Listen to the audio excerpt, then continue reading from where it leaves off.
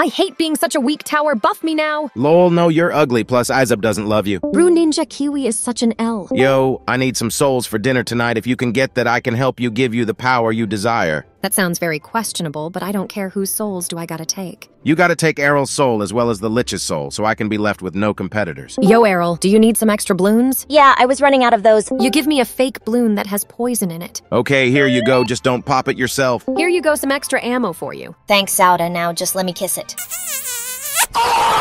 Yo, Geraldo, can I buy a camo potion? Yeah, here you go, it costs $5. Thanks, but I don't have the cash. Okay, return it then. No lol. I guess I just gotta stab him.